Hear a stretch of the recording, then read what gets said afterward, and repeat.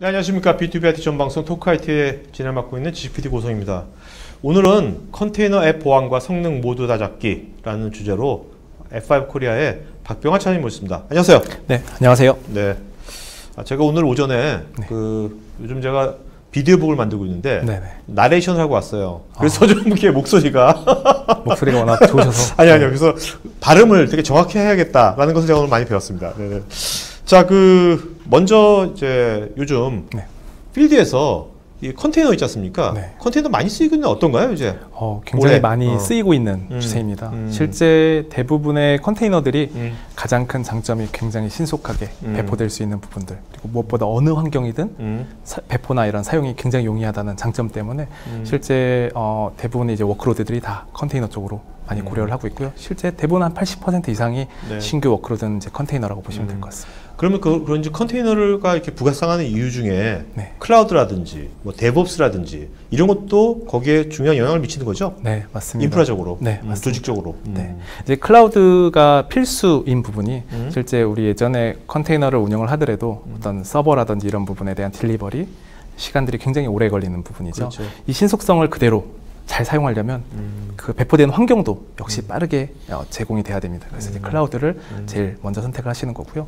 그리고는 이제 어떤 vendor의 어떤 lock-in이라든 종속성에서 좀 탈피할 수 있는 음. 클라우드를 선택하시고 이 여기서 이제 올 수 있는 어떤 이제 DR이라든지 이런 부분도 고려를 하신다면 이제 multi-cloud를 선택하셔서 음. 가는 방향이라고 보시면 될 것 같습니다. 네. 어쨌든 간에 지금 요새 저도 많이 느끼는 게 클라우드 이제 사람들이 이제 클라우드 왜 해요? 이런 말은 잘 안 하는 것 같아요. 네, 그렇죠? 필수죠. 네. 그 필수죠. 이렇게 딱 나오시는 것 같아요. 네, 맞습니다. 그러니까 이제 클라우드 확산되면 네. 지금 이런 컨테이너도 자연스럽게 확산될 수밖에 없는 거 아닙니까? 네, 맞습니다. 네. 클라우드의 거의 대부분 기술이 다 오픈 소스 그리고 음. 컨테이너 역시 오픈 소스에 기반한 기술이다 보니까 대부분 이제 거의 어쩔 수 없이 이제 사용할 수 그렇죠. 있는 부분도 있고 따라가야 되는 부분 그리고 이러한 어떤 비즈니스의 요구 사항을 따라가려면 굉장히 빠른 신속함을 음. 제공하는 최고의 이제 어떤 적합한 아키텍처라고 보시면 되죠. 네. 그다음에 사실 DevOps가 그동안 이제 말은 많이 나왔지만 네. 우리나라에서는 아 저거는 실리콘밸리 얘기야. 지금 네. 미국에서 얘기지 우리하고는 아니야. 네. 그래 왔잖아요. 네. 근데 이게 지금 클라우드가 이렇게 막 default처럼 확산되면서 네. DevOps란 그 이- 이런 형태도 네. 우리나라 이것도 이제 하나의 점점 점 많이 확산되는 것 같기도 하고요. 네, 맞습니다. 그 DevOps라는 용어 자체가 일단 개발자 그리고 음. 운영자의 합성어죠. 어, 그냥 일반적으로 생각하실 때는 이제 개발자가 운영 역할까지 한다. 음. 혹은 운영자가 개발까지 하네. 음. 이러면서 아 이건 내 일이 아니야. 이거는 뭐 이렇게 되면은 나한테 너무 힘들어져. 혹은 여러 가지 이런 문제들을 이제 생각하실 수 있는. 우리 세는 안 맞아 뭐 암- 이렇게. 그렇죠. 음, 그럴 수 네. 있고 너무나 다른 영역이기 때문에 네네. 사용한 용어나 환경이 전혀 그렇죠. 알수 없는 부분들입니다. 그래서 많이 공부해야 다른 종족이죠. 종족을 그렇죠. 지금까지는 이제 전혀 다른 영역이었죠. 네, 네, 네. 뭐 서로는 딱 나눠져 있어서 음. 개발하고 주면 이제 이걸 운영 그렇죠. 하고 요걸 이제 또 문제 생기면 다시 재개발 음. 이런 식의 어떤 분업화돼 있는 이런 조직이었었죠. 음. 자, 근데 지금 그 어떤 현재 네. 현재 어떻습니까? 지금 이 개발자 그룹이랑 운영자 그룹이랑 요즘 이제 어떻게 가고 있는 것 같아요? 지금? 결국은 운영자 그리고 개발자 공동에 주어진 quest는 어, 시장으로 빨리 출시하는 겁니다. 음. 즉 다시 말씀드리면 이제 코드 레벨의 어떤 애플리케이션이 개발하다가 검증과 테스트를 거쳐서 이제 운영망에 적용이 되는 그러다 만약에 문제가 생겼을 때 다시 빨리 검증을 하고 패치한 다음 다시 운영되는 네네. 이런 일련의 단계들을 네. 라이프 사이클을 굉장히 줄여야 되는 네. 그래서 빨리 시장에 배포해서 서비스를 할 수 있는 비즈니스화 시키는 맞습니다. 음. 그런 이제 요구 사항들에 어, 따르기 위해서 음. 둘 간에는 같이 협업을 해야 되는데 그렇죠. 이제 원하는 바들이 약간 다른 거죠. 네네. 개발자 같은 경우는 어, microservice 음. 대부분의 애플리케이션화돼 있는 서로 유기적인 서비스의 컨테이너 기술을 쓰고 싶어 하고요. 음. 또한 어떤 CI/CD 툴 같이 자동화돼 있는 build에 대한 이런 툴을 쓰거나 어떤 환경 클라우드 환경도 선택한다든지 음. 이런 요구사항들이 있는 반면에 네. 운영자 입장에서는 아 이거 컨테이너로 갔을 때 성능에 애플리케이션 성능에 문제는 없는지 음. 또한 이런 보안 취약점이라든지. 어. 또 앞으로 이제 어떤 내가 관리해야 될 도구들이 너무 많이 늘어나는 거죠. 음. 이런 어떤 서로 간의 이해, 충돌 부분들이 이제 생겨나고 있기 때문에 네네. 요거를 잘 협업을 해서 어떤 의사소통을 잘 해서 어떤 DevOps의 건전한 문화를 만들어가는 게 음. 최고의 이제 목표인 거죠. 그렇겠네요. 네. 음. 자 그렇다면 일단 오늘 이제 뭐 개발하신 분들이야 뭐 컨테이너 Docker 뭐 이런 것도 다 아 맞아요. Kubernetes 다 알고 계시지만 그렇죠. 오늘 시청하신 분들 중에서 네. IT 기획 쪽이라든지 네, 또 운영 쪽에 있는. 분들은 아직도 어 뭐 컨테이너 말은 들어봤는데 어 이게 뭔가라는 분도 있을 수 있거든요. 그러니까 네. 오늘 차장님 최대한 쉽게, 최대한 쉽게 좀 컨테이너 뭔지, 네, 네. 이런 몇 가지 용어들을 네. 좀 서- 서- 설명해 주시면 좋을 것 같거든요. 네. 일단 컨테이너라고 떠올리면 네. 제일 먼저 그냥 먼저 부둣가에 커다란 선박이 있고요. 오케이. 거기에 컨테이너가 적재되어 있습니다. 음. 하드웨어 컨테이너고요. 이 컨테이너가 보급되기 전에는 우리가 운송에 필요한 어떤 물건들을 음. 배에 싣거나 할 때 뭐 모양도 다르고 성질도 다르고 액체도 있고 고체도 있고 여러 가지 있잖아요. 네. 이거를 다 일일이 싣고 내리고 음. 또 이거를 또 이렇게 섞이지 않게끔 관리하고 이런 게 너무나 힘들었던 거죠. 그렇죠. 또 이런 배의 선 이제 적재한 부분을 떠나서 음. 목적지까지 가기까지가 너무나 험난한 길들이었어요. 음. 근데 이러한 이제 컨테이너 기술을 어, 어떻게 하면 좀 더 잘 쓸 수 있을까 해서 나온 게 이제 컨테이너 박스에 물품을 네. 담는 거죠. 음. 이랬더니 너무 환경이 바뀌었습니다. 음. 배에 적재하기도 쉽고요. 또한 이 적재된 컨테이너들은 서로 섞이지가 않아요. 음. 화물들이. 그리고 이거를 결국 목적지까지 가기 위해 배에서 내려서 커다란 톤차, 화물차에 적재를 해서 목적지까지 간 다음에 이걸 또 지게차가 내린 음. 여러 가지 환경이 바뀌더라도 컨테이너는 신속하고 안정성 있게 네. 딜리버리가 되는 부분. 자기의 속성을 그대로 유지하면서 맞습니다. 아주 손쉽게 이동할 수 있고. 네, 요걸 떠올리시면 돼요. 요걸 그대로 소프트웨어로 가져왔습니다. 그럼 이제 컨테이너 그 단위, 컨테이너 단위로 무엇을 할 수 있는 겁니까? 그걸로 네, 어디까지? 컨테이너, 무엇을- 어. 네, 컨테이너는 그냥 기본적인 우리가 흔히 알고 있는 HTTP 웹 서비스라고 예를 들게요. 음. 아. 그 웹 서비스에 애플리케이션을 띄워놓고요. 네. 그게 동작하기 위해 필요한 최소한의 어, 종속되어 있는 파일, 음. binary나 라이브러리 까지 넣어서 하나의 이미지화 시켜놨습니다. 네. 그럼 이 이미지화된 애플리케이션들을 어, 그 같은 호스트 kernel 안에 공유를 하는 위 애플리케이션으로 동, 어, 동작을 시키면서 하나의 프로세스화처럼 네, 시켜버린 네. 거죠. 음. 그러니까 굉장히 이제 가볍게 빨리 어, 배포될 수 있는 부분이고요. 이제 가장 큰 장점은 아까 환경이 바뀌더라도 컨테이너는 네, 뭐 네. 이동이나 배송에 문제 없다고 말씀드렸는데 이 컨테이너화된 애플리케이션은 우리가 이제 흔히 이제 사용하는 환경들 리눅스, 맥, 뭐 그다음에 윈도우즈, 그다음에 어떤 bare metal이라든지 클라우드 환경에 어디서나 일관되게 배포가 됩니다. 네. 일관된다는 게 굉장히 중요한 게 컨테이너가 예를 들면 혹시 눈송이 서버라는 얘기를 들어보셨나요? 아 들어본 것 같아요. 네. 눈송이 서버는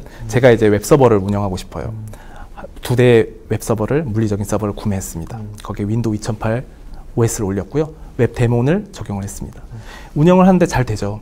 중간에 웹에 대한 패치도 해야 되고 또 윈도우즈에 대한 업데이트도 하게 됩니다. 그러면 어딘가 운영을 하다 보면 갑자기 하나의 웹 서버는 동작을 잘 하는데 다른 하나는 동작하지 않게 돼요. 제가 이 동작을 똑같이 하기 위해서 일련의 작업들을 다 수기로 혹은 엑셀에 정리를 해서 놨는데도 둘 간의 동작이 똑같지가 않아요. 완전 일관성을 제공할 수가 없는 부분이죠. 네네. 그래서 하나의 또 웹서버를 구매를 해서 예를 들어 똑같은 작업 리스트를 그대로 적용을 한다 하더라도 원래 그 잘 돌고 있는 웹서버를 똑같이 만들 수가 없어요.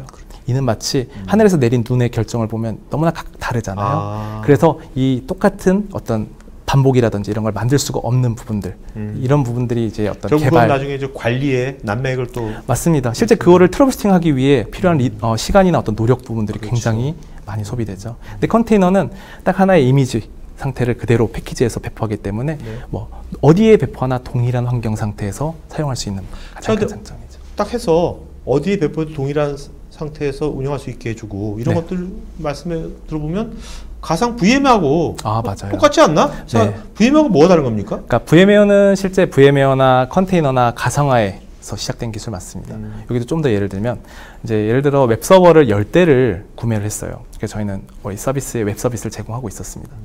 잘 운영을 하고 있는데 하루는 딱 보니까 열 대의 서버가 다 CPU 메모리 하드웨어가 10%도 안 쓰고 있는 거예요. 네네. 너무나 막 좀 낭비인 거죠. 음. 그럼 이걸 어떻게 하면 이 서버의 자원을 잘 쓸 수 있을까? 음. 다시 얘기하면 이 서버에 어떻게 하면 최대한 많은 애플리케이션을 넣어서 최대로 잘 쓸 수 있을까를 고민하다 나온 기술들이 컨테이너하고 가상 머신이라 봅니다. 네. 가상 머신 같은 경우는 이제 그러한 이제 어떤 자원들을 같이 공유를 하면서 쓸 수 있는 부분들이 나오게 되겠고요.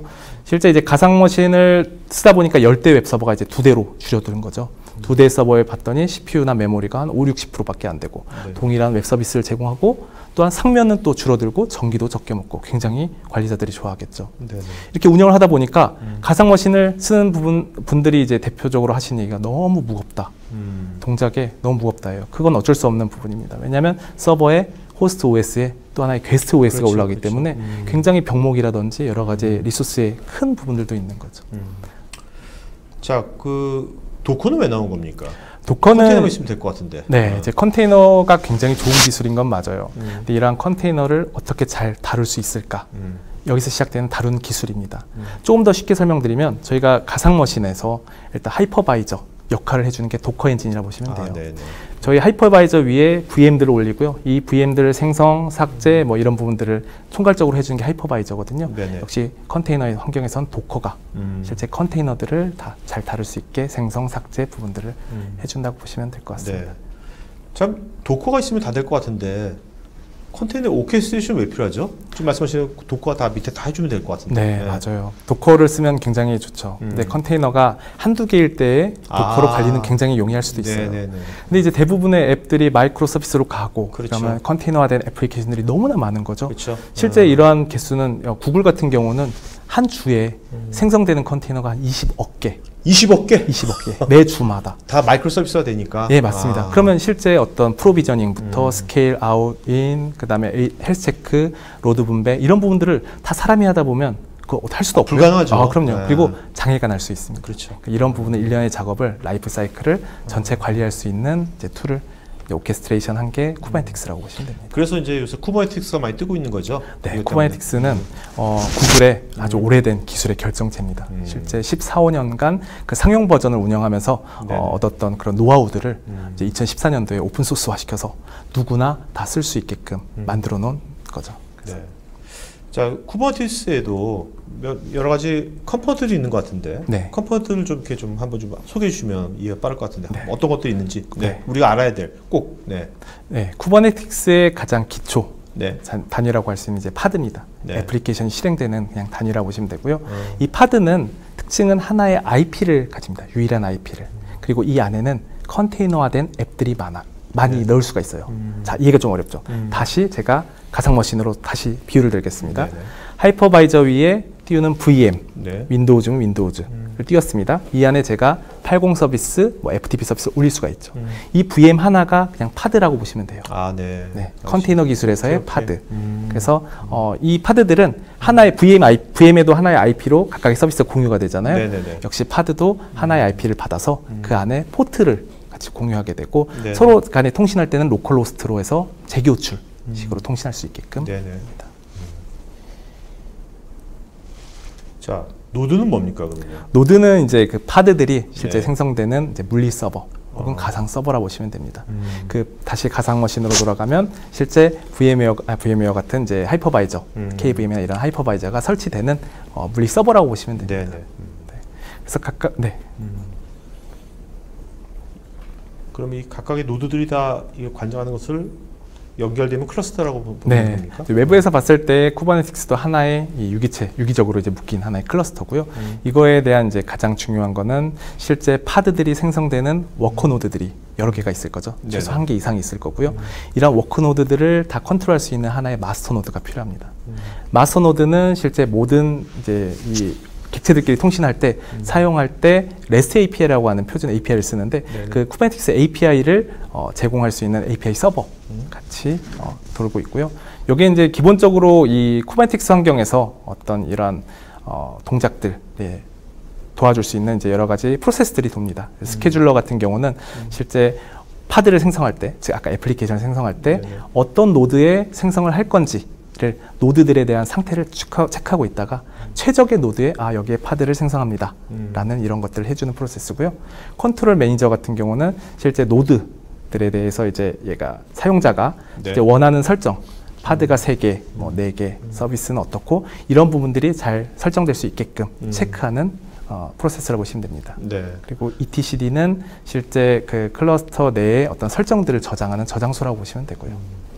그러니까 어떻게 보면 이제 Kubernetes가 이제 이런 이제 컨테이너들 네. 어떤 시스템 안에 컨테이너들 간에 이런 orchestration 이런 거다 해줄 거 아닙니까? 네. 이것도 잘 해줄 것 같아요. 시스템 안에서는. 네. 근데 이제 우리 시스템만 있는 게 아니고 외부 세계도 존재할 거 아닙니까? 그렇죠. 결국은 이제 서비- 외부 음. 세계하고 이, 시, 이 컨테이너로 구성된 이 시스템하고의 연동이라든지 이런 것들은 이제 어떻게 하, 하는 거죠? 어, 일단은 Kubernetes는 어떻게 보면 하나의 클러스터인데 음. 결국은 이 클러스터에서 외부로 통신하려면 음. 누군가는 중간에서 바꿔주는 외부로 나갈 수 있게끔 그리고 클러스터 내부를 알려줄 수 있는 네네. 어, 서비스가 필요한 거죠. 네네. 그 명칭이 이제 ingress라고 하는 음. 서비스입니다. 그래서 음. 이제 가장 큰 역할은 외부 트래픽을 내부로 보내줄 수 있는 부분들. 음. 그리고 어떤 이제 그냥 보내는 게 아니라 호스트 기반이라든지 네. 경로들 네. 통해서 최적의 어떤 pod로 보낼 수 있는 이러한 이제 기능들을 해줍니다. 흔히 뭐 저희 이제 load balancer가 보통 이런 역할들을 해주고요. 음. F5의 BIG-IP라든지 그다음에 NGINX, 음. HAProxy라든지 이러한 이제 load balancer가 기본적인 ingress 서비스를 해주고 있습니다. 네. 그 한번 그 과정을 네. 한번 flow대로 한번 쭉쭉쭉 따라가 보면 네. 이해가 좀 빠를 것 같거든요. 네. 네. 맨 위에 파란색 그림을 보시면 맨 위에 파란색이. 저희 이제 BIG-IP 네. F5의 이제 장비일 수도 있고 소프트웨어일 수도 있습니다. 네.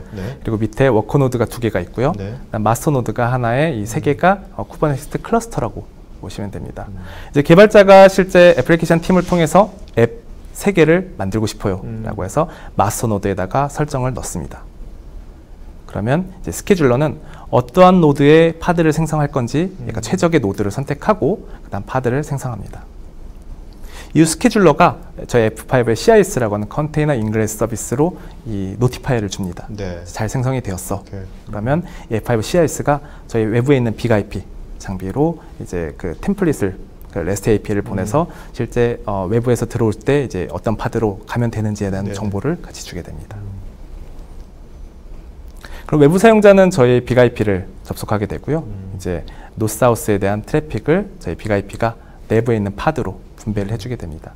그리고 결국은 여기서 이제 분배뿐 아니라 저희 BIG-IP가 제공하는 보안 solution들이 꽤 많이 있어요. 네네. DDoS라든지 웹방화벽 음. 같은 이제 보안 solution들도 같이 적용을 해서 어, 노스에서 사우스로 들어오는 트래픽에 대한 어, 그 음. 어떤 성능 그리고 보안 두 가지를 다 제공할 수 있는 부분들이죠. 네. 아니 이 정도 되면 네. 뭐 어느 정도 다 완벽한 것 같은데 지금 이런 구성에 있어서 네네. 어떤 이슈가 있는 겁니까? 어, 지금 뭐 거의 외부에서 보기에는 네. 완벽한 보안을 그리고 네네. 성능을 네. 제공할 수 있는 솔루션이긴 음. 합니다. 네. 하지만 이제 대부분의 애플리케이션이 컨테이너 컨테이너화가 되다 보니까 네. 이제 내부의 통신들이 많이 있을 거예요. 아 컨테이너들 간에 네, 아. 컨테이너들 간에 오가는 통신들에는 어. 이제 어떤 해킹 위협도 있을 거고. 그것도 API로 할 거 아닙니까? 네, API로 하더라도 음. API에 대한 보호라든지 음. 이제 API에 대해 초당 요청할 수 있는 속도라든지 그리고 어떤 권한을 제대로 가진 어떤 그, 그 IP, 그러니까 그 Pod가 실제 가야 되는지 네. 이런 부분들에 대한 어떤 보안들에 대한 공백이 음. 현재 있는 부분들이고요. 음. 자 그럼 그런 것들은 그런 것들은 지금까지 이제 F5가 그런 것들은 어 뭔가 해결하지 못했었겠네요, 그죠? 아, 컨테이너 간이니까. 네, 저희 이- F5는 F5는 이제 애플리케이션 성능에 대한 delivery 그 음. 보안은 최고의 목표로 가지고 있는 회사 맞습니다. 네네. 그래서 실제 저희가 부족한 이 컨테이너 환경 내에 네. 그러니까 클러스터 내에 있는 네. 부분들을 해결하기 위해서 네. 실제 블루라고 하는 저희 어. 이제 내부 프로젝트명인데 음. 컨테이너에서 BIG-IP를 경량화시켜서 음. 같이 쓸 수 있게끔 해줬던 기술을 개발 중이었는데 음. 어, 저희 2019년도 3월에 올해 3월이네요. 네, 올해 3월에 NGINX를 저희 회사가 인수를 했습니다. 음. 그래서 이제 NGINX를 통해서 음. 저희가 이제 그런 부분들을 좀 가려웠던 부분들을 해소할 수 있게끔 하는 부분입니다. NGINX 많이 들어본 것 같기도 하고 안 들어본 것 같기도 하고 헷갈리는데 그죠? 네. 이거 개발자들 굉장히 개발자 거의 다 아는 거 아닙니까? 대해서 네, 맞습니다. 음. 실제 NGINX 하면은 네. 개발자분들은 너무나 잘 알고 있고 네. 지금도 쓰고 있고요. 어. 대부분 대기업이라든지 포탈에서는 음. 실제 지금 NGINX로 서비스를 많이 하고 있습니다. 아니 일반 웹 서비스 같은 것들은 네. 아파치 많이 안 쓰나요? 네, Apache를 기존에 많이 썼었죠. 네. 근데 Apache는 개발된 지 너무나 오래된 어떤 어, 오픈 소스죠. 음. 실제 여기에는 여러 가지 어, 무거운 부분들도 있고요. 어떤 과거의 어떤 유물들, 지금의 IT 트렌드하고 좀 맞지 않는 부분들이 있기 때문에 음. 상당히 무겁습니다. 실제 이 NGINX를 개발했던 이고르라고 하는 분은 어, 하루는 이제 소켓을 음. TCP 소켓을 만드는데 만 개 이상을 만들었어요. 만 개를 만들었는데 어 하드웨어 자원은 빵빵한데 갑자기 돌리다 보니까 이게 어, 성능 부족처럼 보여지는 느려진 현상들이 나온 거죠. 네네. 자원은 굉장히 있는데도요. 음. 그래서 이제 이 문제가 이제 C10K라고 하는 이슈를 발견했고 그러면 이걸 해결하기 위해서 최적의 경량화된 어떤 오픈 소스의 웹 서버를 만들자라고 해서 음. 나온 게 이제 NGINX입니다. 아, 네. 음. 자, 그럼 지금 이게 국내에서 많이 쓰이고 있겠네요, 그죠? 네, 어. NGINX는 이제 말씀드린 것처럼 오픈 소스다 보니까 근데 이걸 왜 인수했습니까? F5가? 네, 아까 말씀드렸듯이 음. 저희 이제 여러 가지 이제 컨테이너 환경에 음. 이제 같이 저희 F5 솔루션과 동작하기 위해서 어, 부족했던 부분들을 말씀드렸는데 그거를 해소해 줄 수도 있는 음. 어떤 부분이기도 하고요. 결국 F5는 실제 클라이언트에서부터 어떤 관문, 네. 그다음에 서버까지의 음. 요 단계에 대한 어떤 최적화, 보안, 성능 이런 부분들에 대해서만 목적을 이루고 있었는데 요즘 많이 쓰는 컨테이너 환경에 대한 부분은 저희가 조금은 약간 좀 늦었던 부분도 있죠. 음. 네네. 그래서 음. 이제 NGINX를 인수해서 그 음. 기술력을 같이 녹여서 저 F5하고의 시너지를 만들 수 있는 부분들. 결과적으로는 저희 개발자하고 운영자 간의 어떤 이제 협업을 좀 만들 수 있게끔 어떤 하나의 플랫폼식으로 만들 수 있는. 근데. NGINX NGINX는 오픈 소스지 않습니까? 네. 근데 그 오픈 소스면 그냥 그냥 지금도 많이 커뮤니티 활성화돼 있고 그런데 네. 그 F5, F5가 이제 인수하면서 F5가 기존에 있는 오픈 소스를 계속 개발하시는 건지 아니면 또 다른 새로운 걸또 만드시는 건지. 아, 네. 기존에 NGINX 저희 인수하기 전에도 네. NGINX는 이제 NGINX 그리고 NGINX Plus 음. 두 가지 타입이 있었다고 보면 돼요. NGINX는 기존에 오픈 소스 주로 이제 웹 서버로 쓰긴 하지만 여기에도 기본적인 load balancer라든지 캐시라든지 이런 일부 기능들은 제공했습니다. 음. 동일한 설정 방법이라든지 구성은 똑같습니다. 네. 하지만 NGINX Plus는 가장 큰 차이점은 기술 지원을 365일 제공할 수 있는 부분들 음. 그리고 기존의 어떤 load balancer라든지 여러 가지 기능들 중에서 enhance된 기능을 음. 추가를 했습니다. 그래서 그러한 기능들 중에 이제 대부분 저 우측에 있는 빨간색 체크 보시면 됩니다. 네네. 어, 일단 HTTP 헤더나 어떤 URL을 보고 load balance 할 수 있는 L7에 대한 기능, 그 다음에 세션에 대한 persistence를 유지하는데 쿠키 기반의 어떤 load balancer, 그 다음에 이제 컨텐츠 캐시라든지 요즘에 가장 핫한 좀 요구사항들이 많은 API에 대한 게이트웨이, 네네. 그리고 이제 웹방화벽, 음. 까지 요 빨간색 체크된 네 가지가 가장 이제 NGINX Plus의 핵심 기능이라고 보시면 될 것 같습니다. 네. 자 그럼 이제 웹방화벽 보안 쪽 한번 볼까요? 아, 네. 음. 자 이제 보안 쪽에 지금 지금 NGINX의 네. 플러스 요거를 같이 쓴다면 컨텐츠 쓸 때 어떤 점이 좋아지는 이게 없을 때하고 뭐가 좋아지는 겁니까? 기존에는 이제 내부 클러스터 내에 있는 Pod들, 애플리케이션 간의 통신에 대해서는 어, 일단 보안이 조금 이제 취약할 수 있는 부분들이 있는 거예요. 근데 이런 부분들을 이제 해소하기 위해서 NGINX Plus에 웹방화벽 모듈을 add-on할 수가 있습니다. 음. 이제 어, 저희 웹방화벽에서 동작하는 이제 그 보통 signature라고 하죠. signature는 이제 오픈 소스 기반입니다. 이제 OWASP 어, 코드 rule set이라고 하는 core rule set을 가져다가 쓸 수 있는 부분들이고요. 이제 이걸 통해서 어떤 내부의 어떤 데이터 유출이라든지 해킹이라든지 이런 보안들을 좀 더 향상시킬 수가 있는 부분입니다. 네. 근데 이제 이런 이제 rule set 같은 경우는 조금 제약 사항이 있는 건 이제 즉각적인 반응이 좀 어렵다는 거죠. 업데이트가. 이제 주기가 한 8개월 빠르면 그리고 네. 늦으면 뭐 1년마다 한 번씩 signature가 업데이트가 되다 보니까 음. 실제 OWASP Top 10의 어떤 치명적인 가장 빈번한 어떤 공격들에 대한 어 대처나 대응이 어떤 대응이 되- 조금 느릴 수밖에 없는 음. 부분들이 있는 거죠. 그리고 이제 뭐 시그니처 기반뿐 아니라 어, rate limit 기반의 어떤 디도스에 대한 방어도 기본적으로 이제 NGINX Plus에서 제공할 수 있습니다. 네. 그 API 게이트웨이가 요새 굉장히 핫하다고 그러셨잖아요. 네네. 왜 핫한 겁니까? API 게이트웨이가. 어, 제가 이, 이전에 이제 Kubernetes 환경도 말씀을 드렸고 음. 또그 안에서의 오가는 이제 객체들 간의 통신은 다 API 통신입니다. 네네. 이제. 그리고 더 나아가서 이제 third party 장비들하고 솔루션들과 연동을 할 때도 다 이제 API를 쓰게 되죠. 음. 그럼 이 API에 대해서 제대로 어, 전달도 해줘야 되는 부분도 있고요. 또한 어떤 권한을 가진 그 사용자에 대해서 API 코, 어, 요청할 수 있게끔 또 초당 유입되는 어떤 API에 대한 콜에 대해서 실제 어떤 제어를 누군가 해줘야 돼요. 네네. 폭주가 된다든지 이래서 써, 처리를 못한다든지 이런 부분들도 문제가 될 수 있거든요. 그렇기 때문에 이제 이런 부분들에 대한 요구 사항들에 대해서 API 게이트웨이가 어, 제공해 줄 수가 있는 거고요. 음. 실제 보통 이제 어, PaaS 형태로 어떤 서비스 플랫폼을 제공하는 업체들 같은 경우는 이러한 이제 API에 대해서 이제 과금 체계를 billing이나 과금 이런 부분들도 좀 고려를 하고 계세요. 네. 그래서 실제 성공한 API 쿼리 수를 가지고 이제 어떤 billing 과금 결제 아. 요금식으로 이제 아. 할수 있게끔 그걸 이제 서비스마다 네, 네, 그렇기 네. 때문에 이제 이러한 API 게이트웨이에 대한 어떤 이제 그 API 콜 개수라든지 이런 모니터링도 필요한 부분들이고요. 음. 그 예전처럼 우리, 우리가 뭐 애플리케이션 만들 때 통으로 네. 통으로 뭔가 시스템 만들고 할 때는 이런 게 별로 필요 없었죠. 맞습니다. 그죠? 그다음에 이제 뭐 네. 그냥 남이랑 같이 콜라보 안 하고 그냥 우리 시스템 단독 운영될 때 필요가 없었는데 네. 지금 세상이 그렇지가 않으니까 막 쪼, 쪼개지고 그죠? 네. micro service화 되고 또 다양한 시스템들 간에 굉장히 또 콜라보레이션 커뮤니케이션이 많아지고 그러니까 이제 API가 굉장히 이제 기하급수로 폭증할 수밖에 없는 네, 시대가 온 거죠. 맞습니다. 네. 그래서 이런 API에 대한 이제 어떤 어 진짜 제대로 된 load 분배나 어떤 이런 부분들 정책들도 필요하지만은 실제 이 API에 대한 게이트웨이에 대한 보호도 필요합니다. 네. 왜냐하면 보통 이제 서버 측 요청 위조 공격 같은 경우는 제가 API 호출을 그냥 어떠한 권한도 없이 실제 쿼리를 함으로써 내부 서버에 대한 중요한 DB라든지 이런 정보들을 빼올 수 있는 공격들도 네, 있거든요. 네, 네. 뭐 음. JSON이라든지 XML payload 안에 숨어서 들어갈 수 있는 이런 공격들. 네, 네. 음. 그렇기 때문에 이런 API 게이트웨이를 운영하면서 음. 또 게이트웨이를 보호해 줄 수 있는 솔루션도 또 필요한 거죠. 네네. 음. 근데 이거는 이제 저희가 앞에서 말씀드렸던 BIG-IP 장비가 API 게이트웨이에 대한 보호까지 같이 네. 제공을 해줍니다. 그럼 이제 기존에 기존에 이제 F5 BIG-IP를 쓰는 고객이 있, 있지 않습니까? 네, 근데 이제 아까 같이 이제 컨테이너 간에 이런 것들을 이제 이거 인수했잖아요. 3월 달에요. 네네. 그러면 그 고객들은 그럼 이것이 어떻게 업데이트가 되는 겁니까? 어, 떻게 해야 되는 겁니까? 어, 일단은 뭐 저희 F5 코리아 쪽으로 문의를 주시는 게 가장 좋을 거고요. 네네.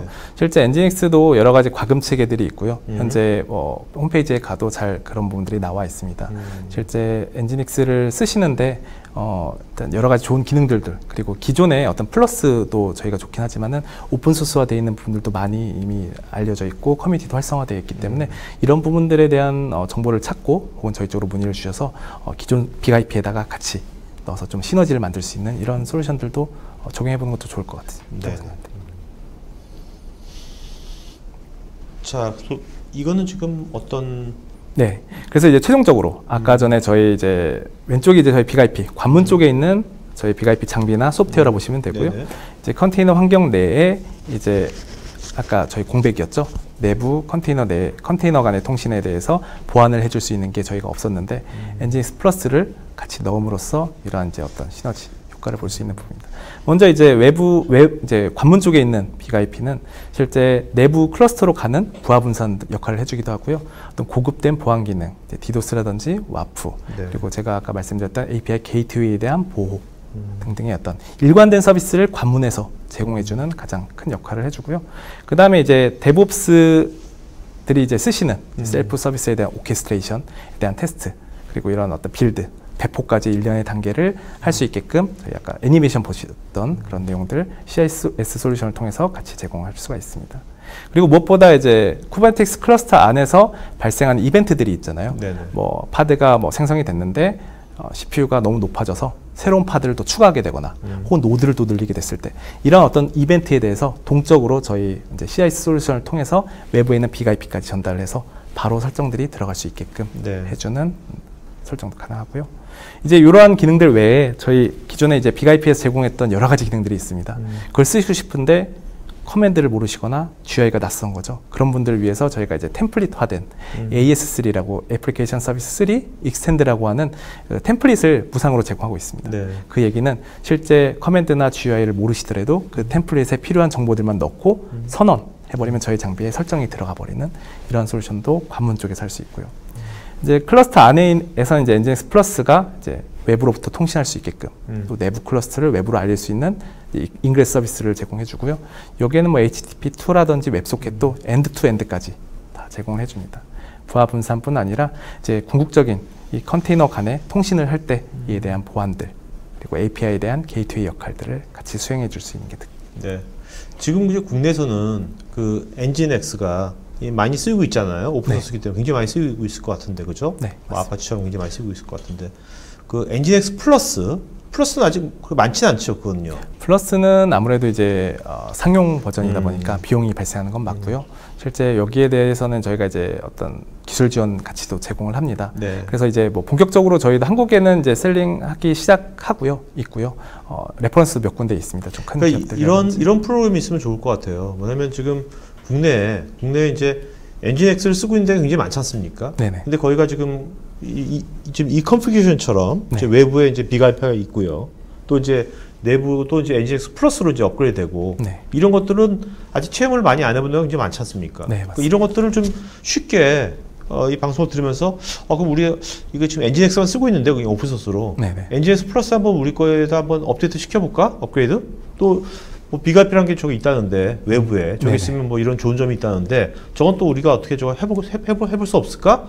이런 분들이 많을 것 같은데 네. 어떻게 이런 분들이 그러면 이렇게 쉽게 쉽게 그걸 try라든지 뭐 이렇게 체험을 해볼 수 있는 겁니까? 아니면 뭐 일단은 뭐, 네, 어, 굉장히 좋은 질문을 주셨는데요. 네네. 실제 이제 NGINX Plus 그리고 F5의 솔루션, 음. 예, 이제 를 저희가 이제 30일 동안 음. 어, 테스트해 볼 수 있게끔 음. 무상으로 제공을 하고 있습니다. 음. 그 F5에 대한 소프트웨어 본을 이제 F5 홈페이지에서 받으실 수 있고요. 네. NGX 플러스도 NGX 플러스 홈페이지 NGX 페이지에 가서 다운 받으셔서 30일 동안의 어떤 내부의 자원에 대해 테스트를 해보실 수 있게끔 음. 해드리고요. 무엇보다 이제 여러 가지 이제 난관들이라든지 이런 뭐 이슈들 많이 겪으실 거예요. 거기에 대해서는 이제 저희 F5 쪽으로 문의를 주신다면 저희는 이제 뭐 진짜 진보된 기술 네네. 그리고 이제 많은 노하우를 토대로 어, 고객의 어떤 그런 부분들을 해소할 수 있게끔 좀 많이 지원할 계획입니다. 근데 그게 이제 30일간 뭐 30일, 60일간 체험을 주는 것도 중요하지만 네, 쉽게 할 수 해볼 수 있어야 될 거 아니에요? 네네. 기존에 NGINX 쓰는 분들이 네. 쉽게 해볼 수 있습니까? 네. 아, 요 부분도 저희 이제 Cloud Docs라고 하는 네. F5에서 실제 클라우드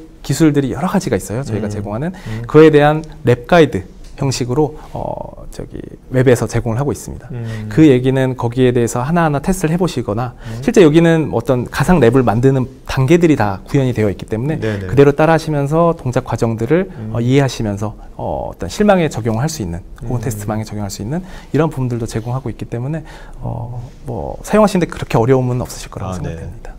그리고 우리가 이제 그 컨테이너를 한 번도 이제 안 써본 분들도 많지 않습니까? 그쵸. 네. 그런 분들이 아, 씨, 뭐 자꾸 이런 방송 들으면 컨테이너 컨테이너 얘기하고 막 하는데 저 한번 해, 해봤으면 좋겠, 우리도 한번 해봐야겠다. 근데 뭐 본격적인 프로젝트를 할 수 없고 네. 뭔가 이거를 테스트하면서 한번 해봐야겠다 한다면 좀 그런 팁을 주신다면 컨테이너를 한번 기업에서 네. 아직 뭐 본격적으로 하는 건 아닌데 그렇더라도 한번 자기가 이제 아, 이거에 감이라든지 그걸 익히기 위해서 작은 뭐 small start처럼 해볼 수 있는 어떤 팁을 주신다면 어, 일단은 대해서. 뭐 컨테이너를 쓰기 위해서는 어쨌든 컨테이너에 대한 orchestration tool을 같이 써보셔야 되죠. 아, Kubernetes를. 어, 뭐 작게는 자기 work node PC에다가 음. 설치해서 테스트를 해보실 수도 있고요. 음. 또한 뭐 이제 AWS나 애저, 구글 클라우드 같은 public 클라우드에 실제 그 EC2 같은 이제 노드를 어, 사용해서 거기에 이제 쿠버네틱스를 연동을 시키고 네. 거기에 이제 컨테이너 기술들을 접목시키면서 하나의 음. 어떤 테스트를 해보는 이런 단계들도 해보실 수가 있을 것 같습니다. 네네네. 음. 자, 그러면 이제 어, 뭐 여기까지 준비된 거 여기까지죠? 네, 네네. 맞습니다. 그럼 이제 Q&A 시간 들어오겠습니다. 네.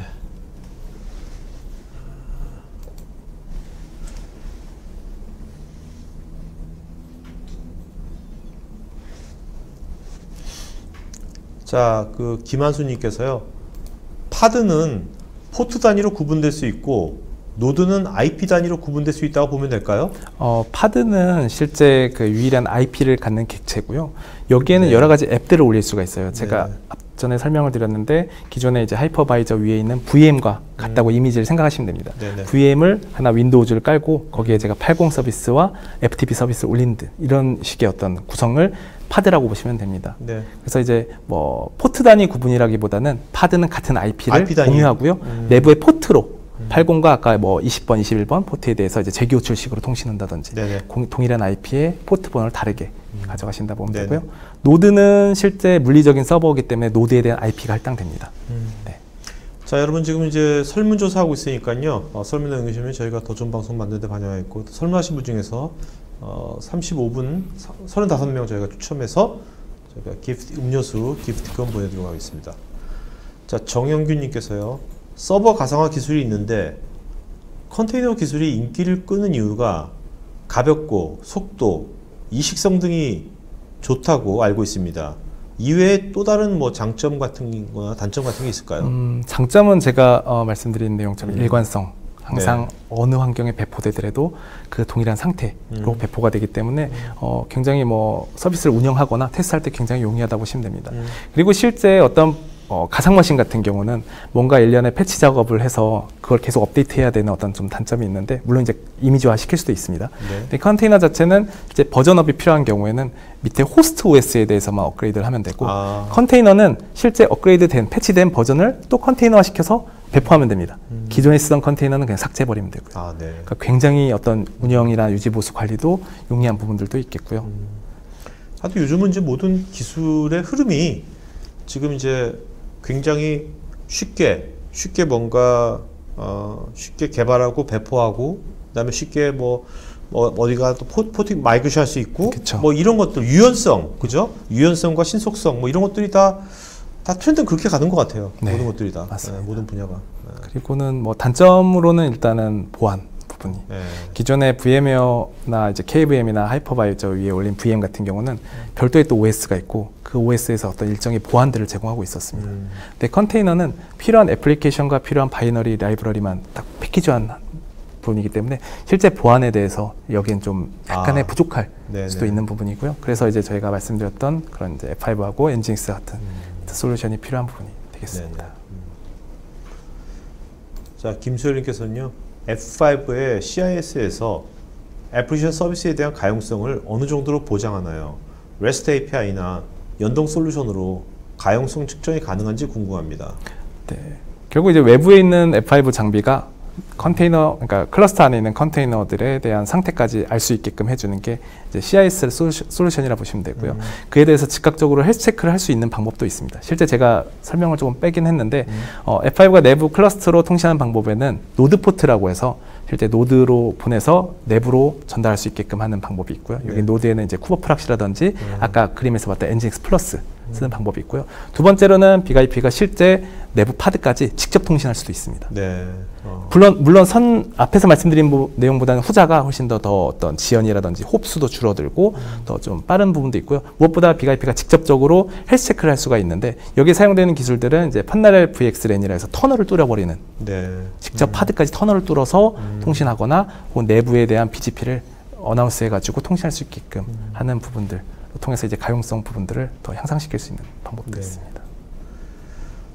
정영균님께서 어, 컨테이너 기술이 굉장히 좋은 것 같은데 그렇다면 전통적인 가상머신 진영도 이 기술로 갈아타고 있는 상황인지요? 어, 뭐 상당수 웹 서비스 같은 부분들은 일부 많이 갔다고 볼 수 있고요. 근데 이제 전통적인 가상 머신은 가상 머신대로 가고 컨테이너 기술은 컨테이너로 가- 갈 수밖에 없다고 생각합니다. 이제 서비스에 대한 특징들이 좀 있거든요. 그래서 어떤 빠르게 변화하고 생성, 삭제, 소멸 이런 단계들이 일련의 단계가 주기적으로 빠르게 발생하는 부분들에 대해서는 컨테이너가 오히려 더 빠를 수가 있겠고요. 음. 또 지속적인 어떤 안정적인 서비스라든지 보안 여러 가지 좀 고려를 한다면 가상 머신을 그대로 이제 쓰시는 네네. 부분들도 있을 거고요. 그렇다면 이제 컨테이너 회사 업무 중에서 기업 업무 중에서 현재 어떤 업무가 어떤 업무가 일단 컨테이너를 적용하면 좋을까요?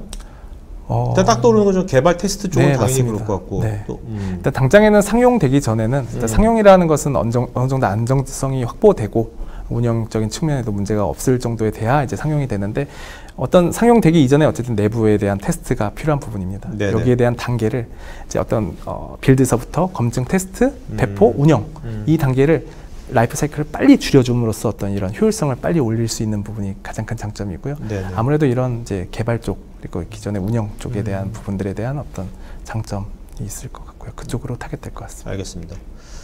자, 조남진님, 아파치 웹서버와 어, 톰캣 앱서버와 비교해서 NGINX가 크게 다른 점, 장점은 무엇인지요? 음, 네, NGINX의 아마 웹 서버를 문의하신 것 같은데요. 음. 네, 기존의 아파치 같은 경우는 굉장히 이제 오래됐고 실제 뭐 IT 트렌드에 약간 뒤처지는 부분들도 있습니다.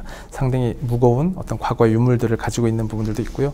NGINX는 일단 똑같이 오픈 소스로 제공하는데 굉장히 경량화시키고 성능을 향상시킨 음. 어, 웹 서버로 보시면 됩니다. 뭐 과거에는 한 4년 전만 해도 NGINX가 한 4위 정도였는데요. 지금은 이제 아파치를 바로 맹렬히 쫓고 음. 어, 있는 네. 예, 웹서버라고 보시면 될 것 같습니다. 어떻습니까? 이게 특히 이제 어떤 뭐 기업 규모로 따졌을, 따졌을 때 뭐 대기업, 중견기업, 뭐 일반 소기업 있지 않습니까? 네. 그렇다면 이제 NGINX는 주로 어느 골고루 있는 건지 아니면 특히 선호되는 그 규모에 있는 그룹군이 있는 건지. 어, 일단 거의 reference를 조사해 봤을 때는 네. 거의 뭐 대부분이 다 쓰고 계셨고요. 아, 네. 어, 저희가 흔히 뭐 접할 수 있는 말씀드리긴 좀 그렇지만 어쨌든 대기 포탈 음. 일부 그리고 대기업들에 대한 음. 서비스를 일부 일부가 아닌 거의 대부분을 NGINX로 쓰고 있습니다. 아, 네. 그 부분을 보시려면은 굉장히 쉽습니다. 이제 뭐 브라우저를 띄우고 음. 이제 F12를 누르면은 이제 개, 개발자 모드가 뜨고요. 거기에 대해서 그 홈페이지를 딱 접속하면 그 HTTP 정보 안에 호- 서버라는 내용이 있고 서버에 아. 그게 리눅스인지 뭐, 아. 예, 그게 나오거든요. 아파치인지 음. NGINX인지. 음. 근데 이제 뭐 N 포탈 같은 경우나 이런 것들 들어가 보면 바로 거기가 NGINX로 아, 네. 있습니다. 굉장히 많이 쓰고 있고요. 실제 제가 이 NGINX 인수되고 나서 NGINX 알기 이전부터 개발자분들은 너무나 많이 쓰시고 음. 어, 선호하는 네 선호하기도 하고요. 박선희님께서요. API 트래픽이 많아지지만 어, API 게이트웨이 많아지면 API 게이트웨이 부하도 늘어날 텐데요. API 게이트웨이도 한 개 이상을 사용할 수 있는지요? 그리고 이에 대한 관리도 가능한지요? 네. 이제 뭐 API도 결국은 요 그 Kubernetes 환경 예를 들면 음. 노드에 하나의 API 게이트가 NGINX Plus가 돌기 시작합니다. 음. 근데 뭔가 어, 어떤 리소스가 필요해서 하나의 노드를 더 추가하게 되면 음. 여기에도 NGINX Plus가 또 생성이 돼요. 네네. 이 NGINX Plus들은 결국 필요에 의해서 더 추가가 될 거고요. 음. 이러한 관리를 위한 부분도 분명히 필요합니다. 그래서 NGINX Controller라고 있는데요. NGINX Plus들에 대한 어떤 통계라든지 설정, 어떤 분석들을 한눈에 볼 수 있게끔 네. 음. 어, GUI 형태로 제공해주는 컨트롤러라고 보시면 됩니다. 최용성님, NGINX의 확장 모듈을 기본 제공하고 추가 확장도 간편하게 지원하는 OpenResty와 NGINX Plus의 장단점에 대해서 설명 부탁드립니다. 제가 OpenResty에 대해서 음. 정확하게 제가 알지를 못한 상황에서 답변드리기가 조금 애매할 수도 있는데요. 네. 어, 일단 NGINX Plus에는 기본적으로 제공하는 기능들, NGINX의 기능에 추가적으로 enhance된 기능들이 있습니다. 여기에는 이제 모듈 형태로 들어가는 웹방화벽도 있겠고요.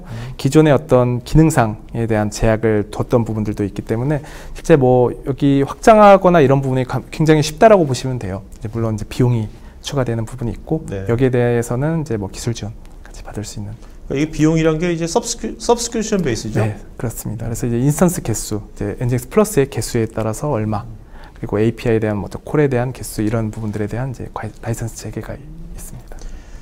정영균님께서요. 방화벽 부분에서 OSI 계층 공격에 90% 방어라는 것의 수치는 어떤 식으로 테스트를 해서 나온 수치인지요? 일반적으로 이제 뭐 대부분의 공격을 다 막을 수 있다라고 얘기를 하고 이제 뭐 얘기하는 그 조건은 이제 OWASP Top 10에 대한 가장 치명적이고 웹에서 빈번하게 발생하는 어떤 공격 유형들에 대한 막는 통계치고요. 네. 실제 이거는 이제 공격 방법이나 어떤 이런 툴이라든지 이런 거에 좀 달라질 수도 있습니다. 근데 이제 어떤 알려진 공격에 대한 어, 평균 방어가 그렇더라라는 어떤 저희 내부 자체적인 어, 통계 조사를 보여드린 거고요.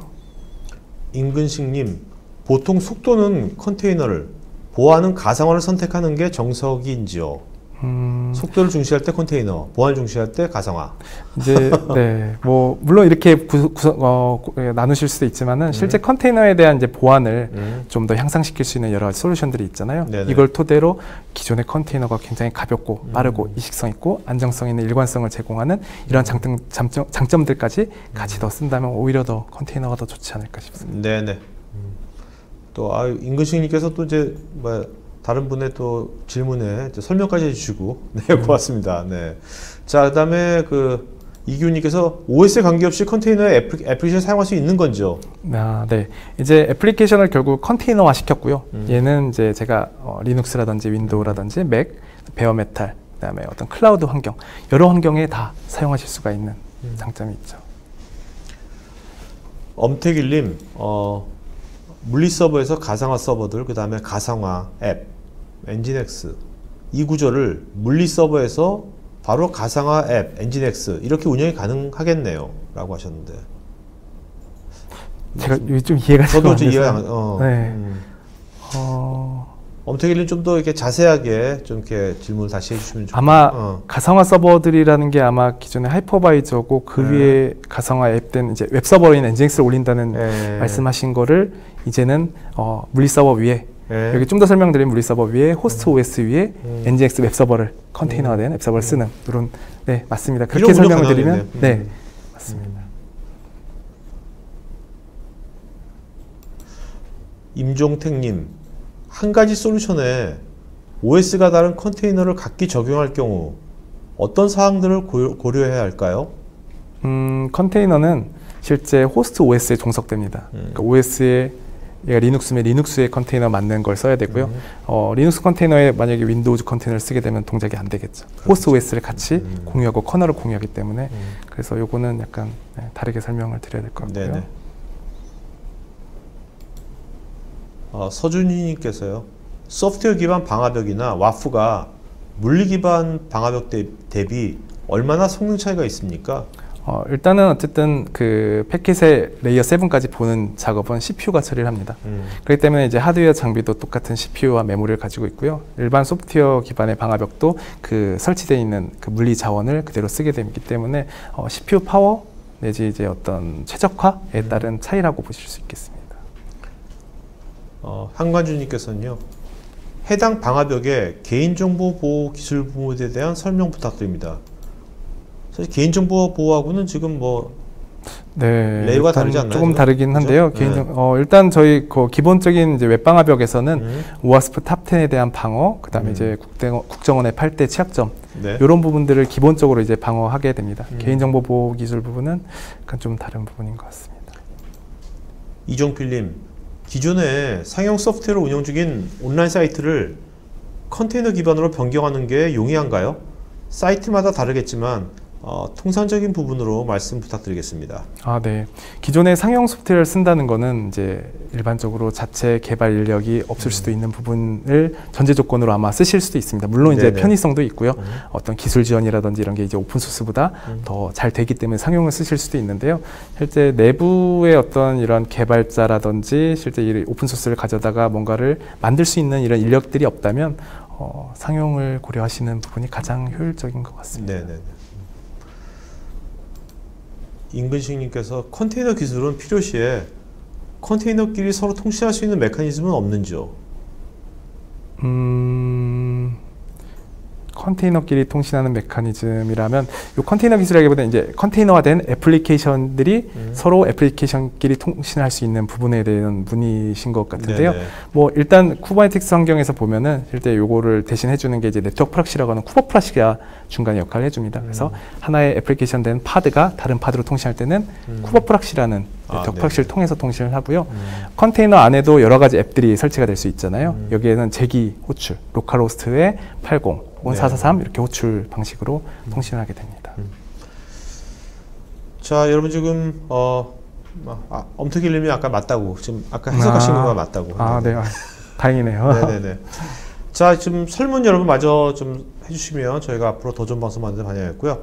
자, 그 오늘 어, 지금 아마 설문에 그 항목이 있는지 모르겠지만 여러분들 아, 오늘 드시면서 아까 30일 무료 체험할 수 있는 기- 기회가 있으시니까 여러분들 회사에 아직까지 NGINX 어, 뭐 Plus라든지 이런 이제 아까 BIG-IP 이런 것들을 아직 체험 안, 안 해보신 분들은 어, 30일간 무료 체험하는 것들에 궁금하신 분들은 설문에 거기다가 이제 써주시거나 아니면 지금 여러분 그 댓글창 하단에 지금 어, 제품 문의 눌러가지고 거기서 좀 문의를 해주신다든지 이렇게 해주시면 저희가 어, 오늘 박사 차임하고 연결시켜드리겠습니다. 차님 해보시니까 뭐 시간 금방 갔죠? 어, 네. 순식간에 네, 지나가네요. 네, 네. 너무나. 네. 자, 그 오늘 본인 이제 했는데 네. 한 것에 대해서 해보니까 아 다음번에 할 때는 더 잘할 것 같습니까? 어떨 것 같습니까? 네, 다음번에는 이제 좀 더 잘할 것 같고요. 다음번에는 뭐, 뭐를 개선하면 좋을 것 같아요? 해보시니까. 어, 일단은 음. 이 솔루션 자체가 기술적인 부분이 굉장히 있어요. 네. 제가 저희 아까 CIS라고 한 솔루션, 그 음. F5 NGINX를 소개하기 위한 기본을 음. 쿠버네티क्스 뭐 컨테이너를 설명을 드렸는데 제 눈높이에 맞춰 쉽게 이게 설명을 한다고 했지만은 음. 과연 이게 제대로 전달이 됐을까라는 의문은 조금은 아쉬움은 있는 부분이죠. 네네네. 어, 다음번 준비할 때는 음. 어, 일단 어느 비전문가가 보더라도 음. 이해할 수 있게끔 더 음. 쉽게 네. 풀어서 설명할 수 있도록 쉽게 설- 풀면서 내용은 좀 deep하게. 네, deep하게 음, 할 네네. 수 있게끔 하겠습니다. 오케이. 자, 정영규님께서 질문하셨는데, 어, 기존 가상 머신은 VM 개수만큼 라이센스 비용을 지불하는데, 컨테이너 기반은 호스트 한대 비용만 지불한다고 알고 있습니다. 그 비용이 VM에 비해서 어느 정도인지요?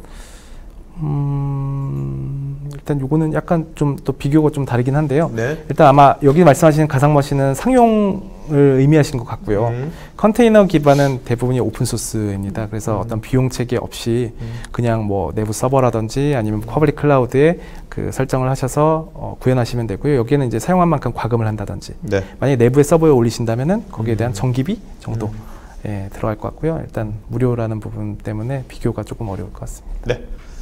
박사님, 마지막으로 한 말씀 좀 맞춰갈까요? 네. 어, 일단 저희 F5는 어, 이제 애플리케이션에 대한 성능 그리고 음. 보안 을 위해서 항상 여러 가지로 노력을 하고 어, 기술적인 부분들도 많이 채워가고 있습니다. 어, 실제 이러한 변화 변화해가는 어떤 IT 트렌드에 음. 실제 따라가거나 혹은 이를 이제 접목시키려다 보면 여러 가지 이슈들이 발생할 거예요. 거기에 대해서 생길 수 있는 어떤 이러한 부분- 문제들을 저희 F5가 어, 최대한 어, 노력을 해서 일단 해소할 수 있고 더 나아가서 기존에 운영하시는 어떤 애플리케이션에 대한 최적의 성능을 제공할 수 있게끔 어, 많이 노력하겠습니다. 네. 많은 내용들은 F5로 문의 주시면 감사할 것 네, 같습니다. 알겠습니다. 아까 그 30일 무료 체험하는 거는 F5 사이트 한국 사이트 들어가면 있는 겁니까? 어, F5는 한국 사이트는 없고요. 네. 이제 F5.com 아, 에 들어가시면 이제 글로벌 사이트에 쭉 내려보시면 맨 밑에 쪽에 이제 테스트 해 볼 수 있게끔 링크가 들어가 있고요. 영어로 신청, 신청해야겠네요. 영어로. 아, 네. 아니면 저, 저, 저, 저, 제, 저희 쪽으로 문의를 주시면. 제가 이제 링크하고 아. 사용 아, 방법. 이런 부분들을 가이드를 드리는 게 여러분들 체험해보고 싶으신 분들은 여기 설문에다가 그거 좀그 뭐야 그거 관심 있다 이렇게 적어주시면 좋을 것 같습니다. 자 오늘 방송에서 마치겠습니다. 고맙습니다. 네, 감사합니다. 네.